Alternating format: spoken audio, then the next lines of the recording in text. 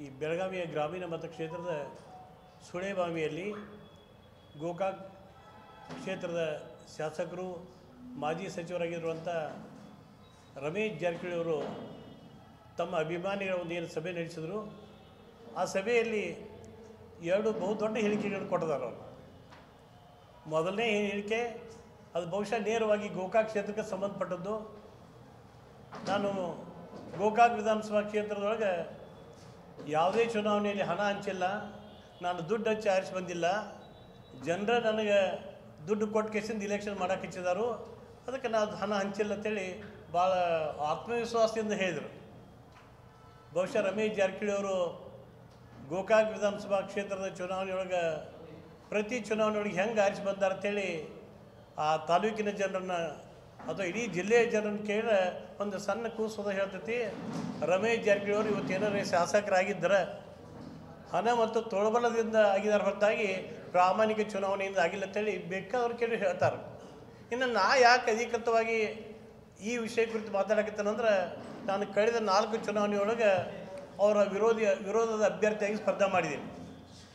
ಬರೀ ನಾಮಕಾವಸ್ಥೆ ಸ್ಪರ್ಧೆ ಮಾಡಿಲ್ಲ, ಅತ್ಯಂತ ನಿಖರವಾದಂಥ ಹೋರಾಟ ಮಾಡಿಕೆಸಿಂದ ನೆಟ್ ಟು ನೆಟ್ ಫೈಟ್ ಕೊಟ್ಟದ್ದು. ಅದು ಒಂದು ಸಲ ಬಿ ಜೆ ಪಿಯಿಂದ ಇರ್ಬೋದು, ಇನ್ನು ಮೂರು ಸಲ ಜೆ ಡಿ ಎಸ್ನಿಂದ ಇರ್ಬೋದು, ಅದು ವಿಷಯ ಬೇರೆ.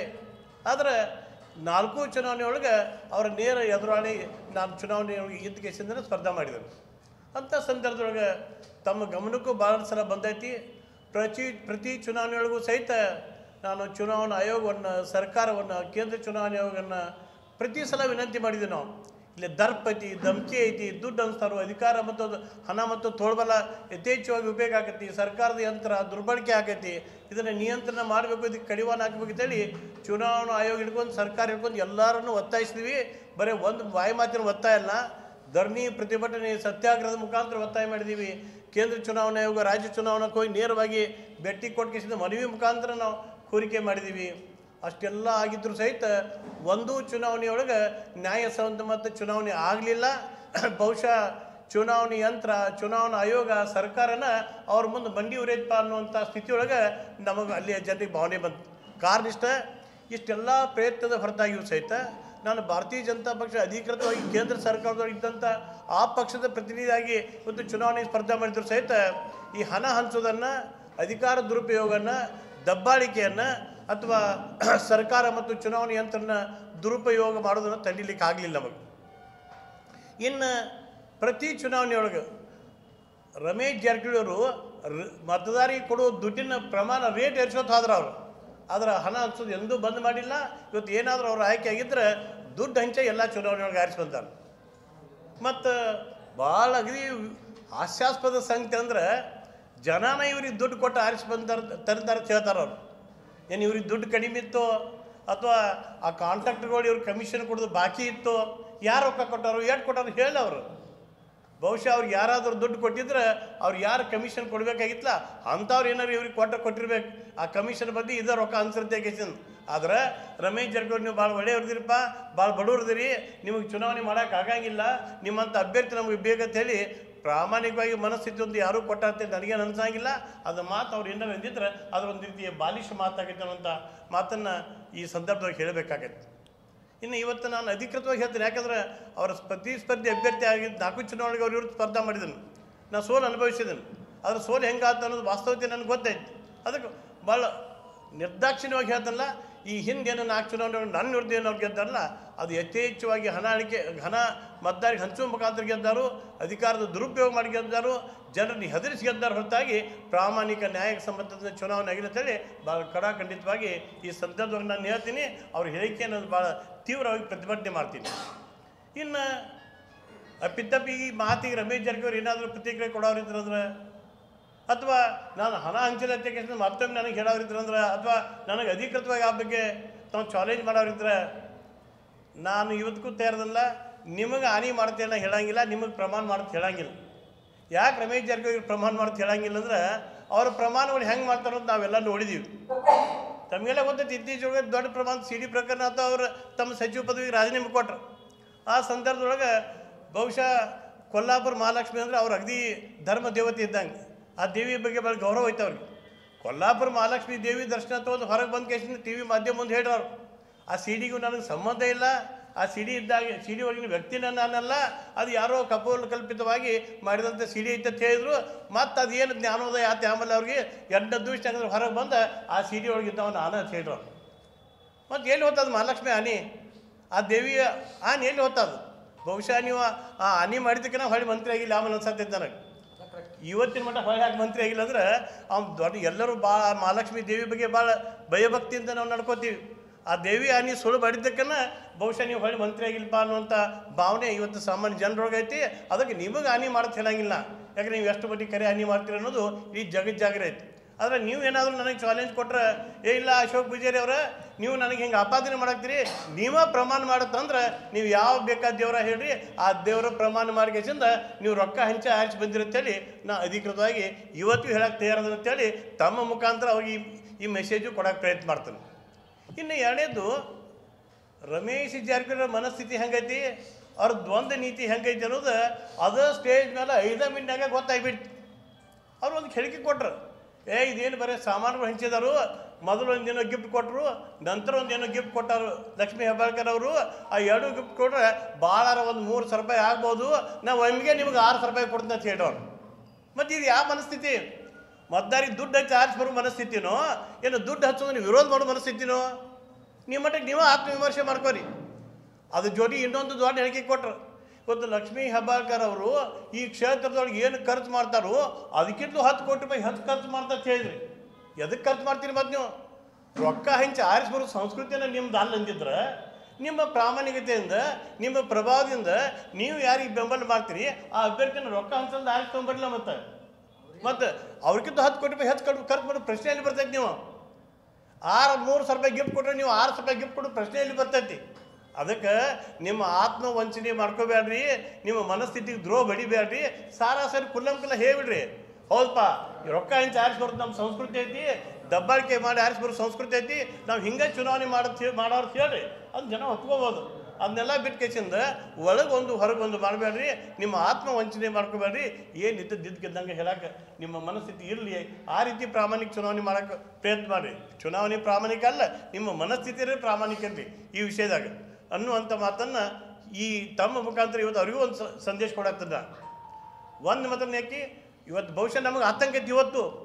ಈ ನಾಳೆ ಚುನಾವಣೆಯೊಳಗೆ ನನಗೆ ಟಿಕೆಟ್ ಯಾವ ಕಾಂಗ್ರೆಸ್ ಪಕ್ಷದವ್ರು ಕೊಟ್ಟರು ಸಹಿತ ಬಹುಶಃ ಅವ್ರನ್ನ ಎದುರಿಸ್ಬೇಕಾದ್ರೆ ಮತ್ತೊಂದು ಸಲ ಚುನಾವಣಾ ಆಯೋಗ ಸರ್ಕಾರ ವಿರುದ್ಧ ನಮ್ಮ ಹೋರಾಟ ಆಗಬೇಕಾಗಿತ್ತು ಆಮೇಲೆ ಚುನಾವಣಾ ಆಯೋಗದ ಗಮನ ಸೆಳಿಬೇಕಾಗೈತಿ ಆಮೇಲೆ ಯಾಕಂದ್ರೆ ನಾಲ್ಕು ಚುನಾವಣೆಯೊಳಗೆ ಅತ್ಯಂತ ಕೆಟ್ಟ ಅನುಭವ ನನಗಾಗೈತಿ. ನಮ್ಮ ಪ್ರಾಮಾಣಿಕ ಪ್ರಯತ್ನ ಹೋರಾಟದ ಹೊರತಾಗಿಯೂ ಸಹಿತ. ಕೇಂದ್ರದೊಳಗೆ ಬಿ ಜೆ ಪಿ ಸರ್ಕಾರ ಇದ್ದಾಗ ಆ ಬಿ ಜೆ ಪಿ ಸರ್ಕಾರದ ಪ್ರಭಾವಿ ಮಂತ್ರಿಗಳು ತೊಗೊಂಡನ ಕೇಂದ್ರ ಚುನಾವಣಾ ಆಯೋಗಕ್ಕೆ ಹೋಗಿ ಬಡ್ಡಿ ಕೊಟ್ಟು ನಮ್ಮ ಮನವಿ ಸಲ್ಲಿಸಿ ಅವ್ರ ಗಮನ ಸೆಳೆದಾಗೂ ಸಹಿತ ಈ ಹಣ ಹಂಚು ತಡೆಯೋಕ್ಕಾಗಲಿಲ್ಲ. ಈ ಸರ್ಕಾರಿ ಯಂತ್ರದ ದುರುಪಯೋಗ ತಡೆಯೋಕ್ಕಾಗಲಿಲ್ಲ. ಚುನಾವಣೆ ಯಂತ್ರದ ದುರುಪಯೋಗ ತಡೆಯೋಕ್ಕಾಗಲಿಲ್ಲ. ಅಷ್ಟರ ಮಟ್ಟಿಗೆ ಆ ಹಣ ಮತ್ತು ಮತ್ತು ತೋಳ್ಬಲದ ಪ್ರಭಾವ ನಮ್ಮ ಕ್ಷೇತ್ರದವ್ರಿಗೆ ಎಟ್ಟೈತೆ ಅನ್ನೋದು ನಾವು ಸೂಕ್ಷ್ಮವಾಗಿ ಅವಲೋಕನ ಮಾಡಬೇಕಾಗಿದೆ ಸರ್ ಈಗ ನೀವು ಅದ್ರ ಬಗ್ಗೆ ಎಲ್ಲ ಮಾತಾಡಿದ್ರಿ ಇನ್ನೊಂದು ಈಗ ಬೆಳಗಾವಿ ಜಿಲ್ಲೆಯಲ್ಲಿ ಒಂದು ಹಂಚಿಕೆ ಆಗ್ತಿದಿಲ್ಲ ಮಿಕ್ಸರ್ ಆಗಿರ್ಬೋದು ಟಿಫನ್ ಬಾಕ್ಸ್ ಈ ಸಾಮಾನ್ಯ ಜನ ಎಲೆಕ್ಷನ್ ಮಾಡಕ್ ಸಾಧ್ಯನೇ ಇಲ್ಲ ನೋಡಿ ಸರ್ ನಾವು ಅನ್ಕೋ ವೈಯಕ್ತಿಕವಾಗಿ ಹಣ ದುಡ್ಡು ಕೊಟ್ಟು ಆರಿಸ್ಬಿಟ್ಟು ಇಲೆಕ್ಷನ್ ಪದ್ಧತಿಯವ್ರು ನಾವಲ್ಲ ನಾವು ಪ್ರಜಾಪ್ರಭುತ್ವ ತತ್ವ ಮೌಲ್ಯ ಸಿದ್ಧಾಂತಕ್ಕೆ ಬದ್ಧರಾಗಿರುವಂಥವ್ರು ಇವತ್ತು ಯಾರಾದರೂ ಮತ ಪಡೆಯುವಂಥ ಉದ್ದೇಶದಿಂದ ಏನಾದರೂ ಏನು ಮಾಡ್ತಿದ್ರು ಅವರ ಆತ್ಮವಿಮರ್ಶೆ ಅವರ ಮಾಡ್ತಾರೆ. ಅದರ ಹೊರತಾಗಿ ನಾವು ಹೆಚ್ಚಿನ ನಾನು ಏನಂದ್ರೆ ಚುನಾವಣಾ ಯಂತ್ರ ಒಂದು ವೇಳೆ ನಿಖರವಾಗಿ ಕಟ್ಟುನಿಟ್ಟಿನ ಕ್ರಮ ಕೈಗೊಂಡು ಇದೆಲ್ಲ ತನ್ನ ತನ್ನ ಬಂದಾಗೈತಿ ಇದು ಈ ಯಾರಾದರೂ ದುಡ್ಡು ಕೊಡ್ತಾರೋ ಏನೋ ಮಾಡ್ತಾರಂದ್ರೆ ಅದು ಚುನಾವಣಾ ಆಯೋಗದ ವೈಫಲ್ಯ, ಸರ್ಕಾರದ ವೈಫಲ್ಯ. ಇವತ್ತು ಆದ ಮೊದಲು ಸರಿ ಆಗಬೇಕಾಗಿತ್ತು. ಅದ್ರ ಸಂಬಂಧ ನಮ್ಮ ಹೋರಾಟ ಐತಿ. ಇನ್ನು ಸರ್, ಇನ್ನೊಂದು ಇನ್ನೊಂದು ಸಮ, ಒಂದು ಒಂದು ವಿಷಯವನ್ನು ನಾನು ತಮ್ಮ ಗಮನ ತರಬೇಸ್ತೀನೋ ಇವತ್ತು ನಿನ್ನೆಯ ಆ ಸಭೆಯೊಳಗೆ ಶ್ರೀಮತಿ ಲಕ್ಷ್ಮೀ ಹೆಬ್ಬಾಳ್ಕರ್ ಅವ್ರ ಬಗ್ಗೆ ಒಂದು ಹೇಳಿಕೆ ಕೊಟ್ಟರು ಅವರು. ಅದೊಂದು ಕೆಟ್ಟ ಹುಳ ಅಂತೇಳಿ. ಬಹುಶಃ ನಮ್ಮ ಭಾರತೀಯ ಸಂಸ್ಕೃತಿ, ನಮ್ಮ ಆಚಾರ, ವಿಚಾರ ಹೆಂಗೈತೆ ಅಂದ್ರೆ ಹೆಣ್ಣು ಮಕ್ಕಳನ್ನು ನಾವು ದೇವತೆಯಾಗಿ, ಸಹೋದರಿಯಾಗಿ, ತಾಯಿಯಾಗಿ ನಾವು ಪೂಜೆ ಮಾಡ್ತೀವಿ, ಗೌರವಿಸ್ತೀವಿ. ಮತ್ತು ಸದ್ಯದ ಸ್ಥಿತಿಯೊಳಗೆ ರಮೇಶ್ ಜಾರಕಿಹೊಳಿ ಭಾರತೀಯ ಜನತಾ ಪಕ್ಷದೊಳಗೆ ಅದಾರ ಭಾರತೀಯ ಜನತಾ ಪಕ್ಷ ಅಂದ್ರೆ ಹಿಂದೂ ಸಂಸ್ಕೃತಿಯನ್ನು ಎತ್ತಿ ಹಿಡಿಯುವಂಥ ಪಾರ್ಟಿ ಅಂತ ಹೇಳ್ಕೊತಾರೆ. ಹಿಂದೂ ಸಂಸ್ಕೃತಿಗೆ ವ್ಯತಿರಿಕ್ತವಾಗಿ ಯಾರಾದರೂ ನಡ್ಕೊಂಡ್ರೆ ಅದನ್ನು ಕೂಡಲೇ ಹದ್ದು ಬಸ್ತಿಗಿಡುವಂಥ ಪ್ರಯತ್ನ ಮಾಡ್ತಾರೆ ಅವರು. ಅಂತ ನಮಗೆ ಹಂಗೆ ಅನಿಸ್ತೈತಿ. ಆದ್ರೆ ಬಹುಶಃ ಲಕ್ಷ್ಮೀ ಹೆಬ್ಬಾಳ್ಕರ್ ಅವ್ರ ಬಗ್ಗೆ ಇರ್ಬೋದು, ಮತ್ತು ಇನ್ನಿತ ಮಹಿಳೆಯರ ಬಗ್ಗೆ ಇವತ್ತೇನು ರಮೇಶ್ ಭಾಳಷ್ಟು ಸಲ ವಿಶೇಷವಾಗಿ ಸಹೋದರಿ ಲಕ್ಷ್ಮೀ ಹೆಬ್ಬಾಳ್ಕರ್ ಬಗ್ಗೆ ಏನು ಅವರ ಮಾತುಗಳನ್ನ ಉಪಯೋಗ ಮಾಡತ್ತಾರಲ್ಲ, ಬಹುಶಃ ಅವರ ಘನತೆ, ಗೌರವಕ್ಕೆ ಶೋಭೆ ತರುವಂಥದ್ದಲ್ಲ. ಯಾಕಂದ್ರೆ ಒಬ್ಬ ಹೆಣ್ಣನ್ನು ದೇವತೆಯಾಗಿ ಪೂಜಿಸುವಂಥ ಸಂಸ್ಕೃತಿ ನಂಬದೈತಿ ಹಿಂದೂ ಸಂಸ್ಕೃತಿ ಐತಿ. ಅದಕ್ಕೆ ಇನ್ನಾದರೂ ಸಹಿತ ನೀವೊಂದು ಜವಾಬ್ದಾರಿ ಸ್ಥಾನದಾಗದಿರಿ ನಿಮ್ಮ ಮಾತುಗಳಿಗೆ ಕಡಿವಾಣ, ನೀವು ಹಾಕೋರಿ, ಸ್ವಯಂ ಕಡಿವಾಣ ಹಾಕೋರಿ. ಬೇರೆದವ್ರು ಯಾರು ಕಡಿವಾನ ಹಾಕಕ್ಕೆ ಬರಂಗಿಲ್ಲ. ಯಾಕಂದ್ರೆ ನಿಮ್ಮ ಸ್ಟೇಜ್ನಲ್ಲಿ ಹೋಗಿ ನಿಲ್ಲಿಸ್ರೆ ನೀವೇನು ಮಾತಾಡ್ತೀರಿ ನಿಮ್ಗೆ ಗೊತ್ತಿರಂಗಿಲ್ಲ.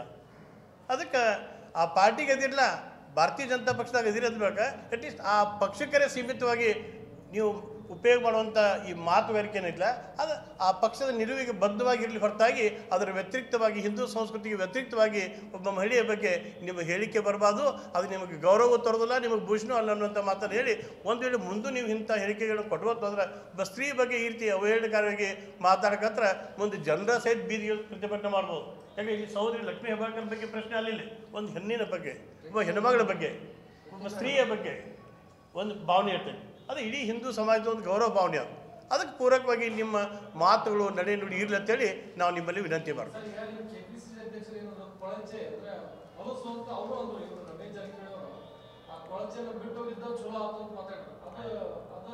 ಏನು ಕೊಳಚೆ ರೀ?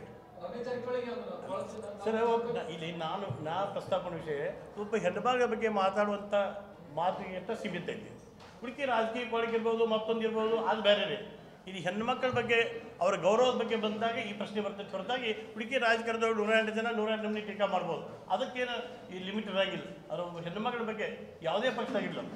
ಭಾರತೀಯ ಜನತಾ ಪಕ್ಷದಾದರು, ಕಾಂಗ್ರೆಸ್ ಆದಾಗರು, ಜೆ ಡಿ ಎಸ್ ಇಲ್ಲಿ ಒಬ್ಬ ಸಾಮಾನ್ಯ ಹೆಣ್ಮಕ್ಳಿದ್ರು ಸಹಿತ ಅವರಿಗೆ ಗೌರವ ಕೊಡಬೇಕು. ಅದು ನಮ್ಮ ಹಿಂದೂ ಸಂಸ್ಕೃತಿ ಅನ್ನುವಂಥ ಮಾತನ್ನು ಭಾಳ ಒತ್ತಿ ಹೇಳ್ತೇನೆ ನಾನು. ಹಾಂ, ಸರ್, ಹೇಳಿ. ಕಾಂಗ್ರೆಸ್ ಸಮಾವೇಶ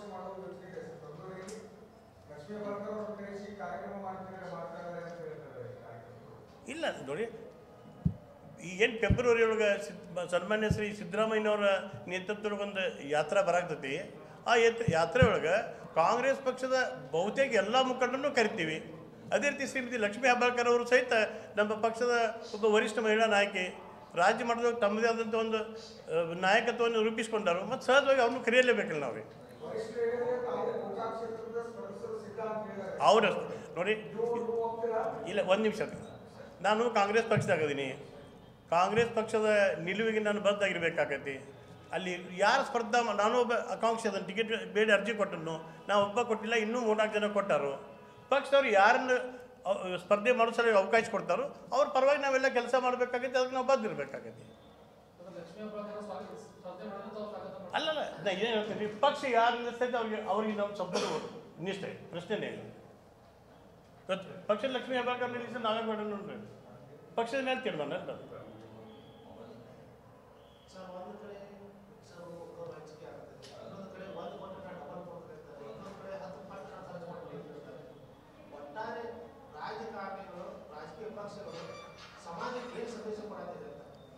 ಇಲ್ಲೇ ನೋಡಿ ಸರ್ ನಂದುದೇನು? ಇವತ್ತು ಕಾಣಿಕೆ ಕೊಡೋದು ಒಬ್ಬೊಬ್ಬರ ವೈಯಕ್ತಿಕ ನಿಲುವು ಇರ್ತೈತಿ. ನಮ್ಮಲ್ಲಿ ನಮ್ಮಲ್ಲಿ ಏನು ಆರ್ಥಿಕ ನಮ್ಮ ಸಂಪನ್ಮೂಲ ಇರ್ತೈತಿ, ಅದನ್ನು ಉಳಿದವ್ರ ಜೊತೆಗೆ ಹಂಚ್ಕೊಂಡಪ್ಪ ಯಾರು ಸ್ವಲ್ಪ ಕಡಿ ಇಲ್ಲದವ್ರದಾರು ಇದ್ದವ್ರು ಅವರಿಗೆ ಗಿಫ್ಟ್ ರೂಪ ಮುಖಾಂತರ ಕೊಟ್ಟರೆ ಏನು ದೊಡ್ಡ ತಪ್ಪಲ್ಲ ಅನ್ನೋಂಥ ಭಾವನೆ ಐತಿ. ಆ ಪ್ರಕಾರ ಯಾರೇ ಮಾಡ್ತಿರ್ಬೋದು. ಆದರೆ ಯಾರಾದರೂ ಚುನಾವಣೆ ಉದ್ದೇಶ ತಗೊಂಡು ಕೇಸಿಂದ, ದುಡ್ಡು ಹಂಚಿಕೆಸಿಂದ ಹೊರತುವಂಥ ಸ್ಥಿತಿಗೆ ಬಂದ್ರೆ ಅವಾಗ ನಾವು ಅದನ್ನು, ಅದು ಯಾರ ಮನಸ್ಥಿತಿನೂ ಒಪ್ಪಾಗಿಲ್ಲ.